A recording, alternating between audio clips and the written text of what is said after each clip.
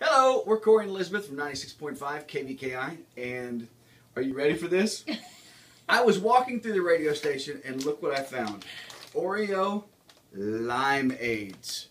Yummy. Mm. we actually talked about this a couple of weeks ago when we figured out that they came out on the market.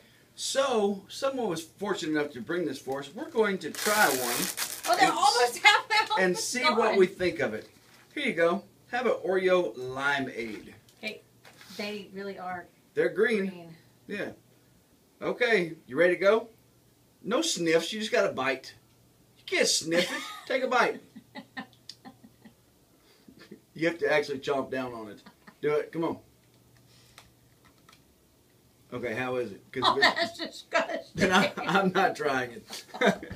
oh well. that's so gross. It's like a a key lime pie in a cookie. It's not something I really want right now. Yep. No. Yeah. Yeah. It's, Fail. it's not good, but hey, if you like it, you're better than we are. At least we're trying to educate you so you do not waste your money on the Oreo limeades. so gross. Yum.